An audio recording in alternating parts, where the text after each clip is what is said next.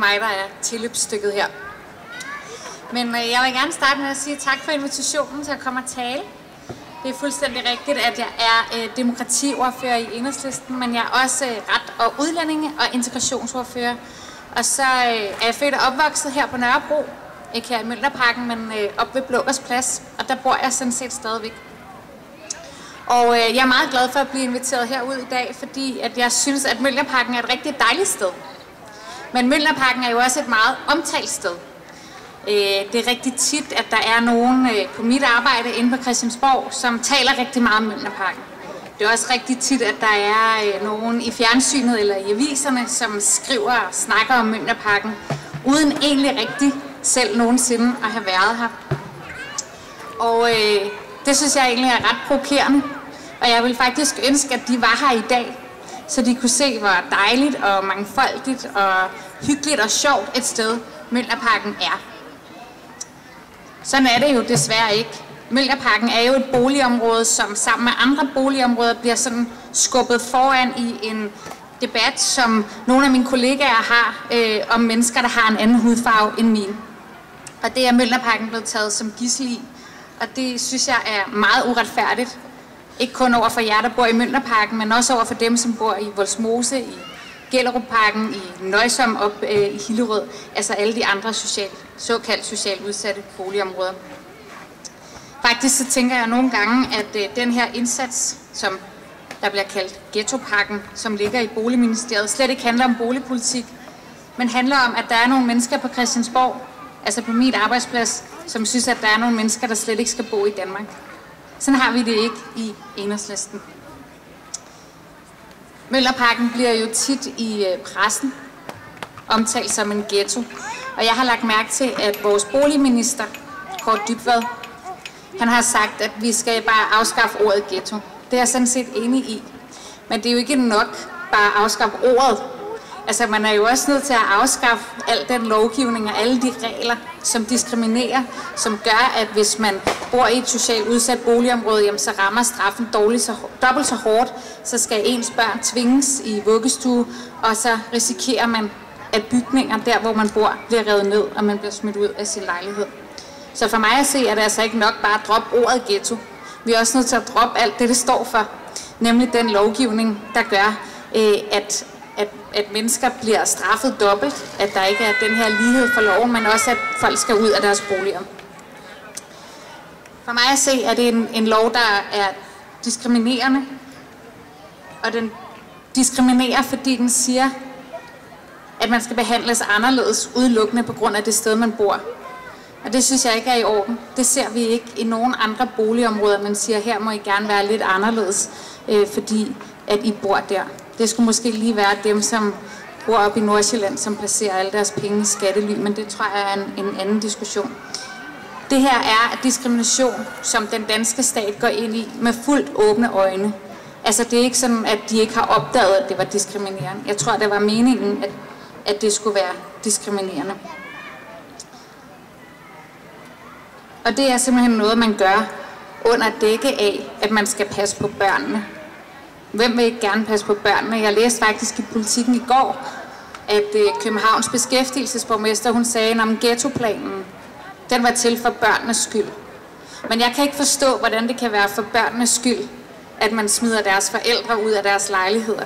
Eller hvordan det kan være for børnenes skyld, at man faktisk fjerner nogle af de boliger, de eneste boliger, der er i København, som er til at betale for almindelige mennesker. Det kan da ikke være for børnenes skyld. Det har jeg i hvert fald meget svært ved at se. For mig at se er det spin af værste skuffe.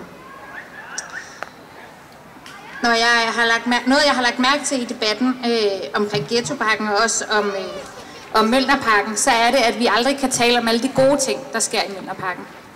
Og det ved jeg ikke, om jer, der bor her, oplever, men hver gang, jeg siger, hver gang der er nogen, der siger noget dårligt om Mølnerparken, så siger jeg, jamen der sker også alle mulige gode ting. Så får jeg at vide, at jeg er blind over for problemerne, og at jeg ikke vil gøre noget ved det. Men det synes jeg ikke er rigtigt. Der skal jo være plads til, at vi både kan tale om de ting, der går godt, og de ting, der går dårligt, uden at vi ligesom sådan skal skyde hinanden ting i skoene, fordi så kommer vi jo aldrig videre. Hvis man er modstander af ghettoparken, som jeg er, så får man tit at vide, at man ikke vil være med til at løse problemerne.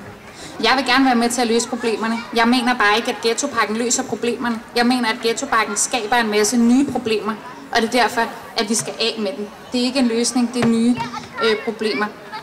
Som for eksempel at svare på spørgsmålet, hvor folk skal bo henne, hvis de ikke længere skal bo her. Og det har vi i enhedslisten spurgt alle partierne fra SF til Liberale Alliance om, og det kan de ikke svare på. De siger, jamen der er jo henvisninger. Vi henviser jo folk til et nyt sted at bo. Ja, som er super dyrt, og som er alt for stort, og som ikke passer til det behov, man har. Øh, det er jo ikke rigtigt at henvise folk til et andet sted at bo. Så jeg mener, at ghettoparken skaber flere problemer, end den egentlig løser.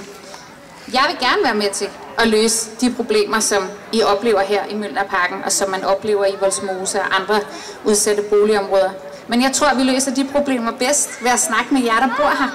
Altså, det er jo ikke mig og Kåre Dybvad og øh, øh, andre politikere på Christiansborg, som ikke bor her, som ved, hvordan man bedst løser problemerne her.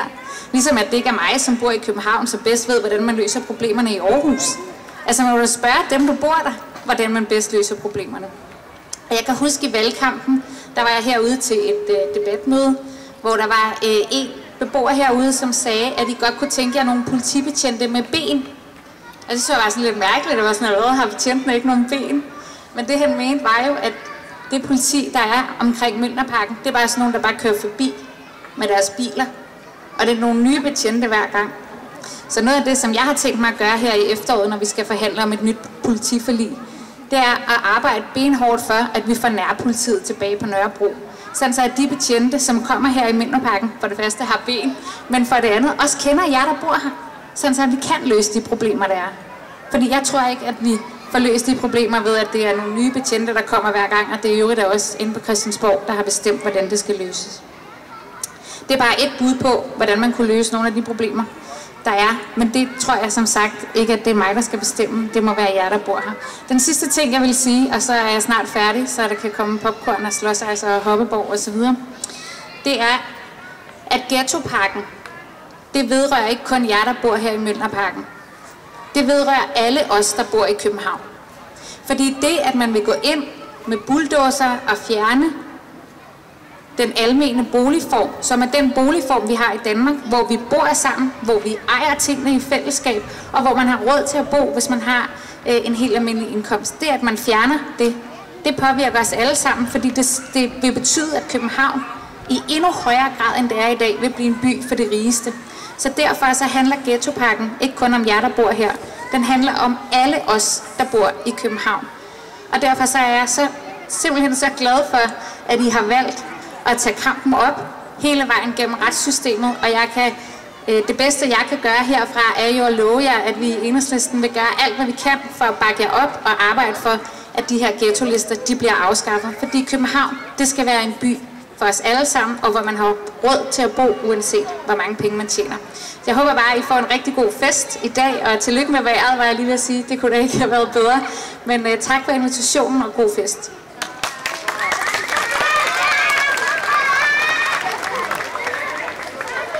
Så vil jeg bare sige, at det der, det der er problemet, det er et stort flertal i Folketinget. Og det der er problemet, det store flertallet på Københavns Rådhus.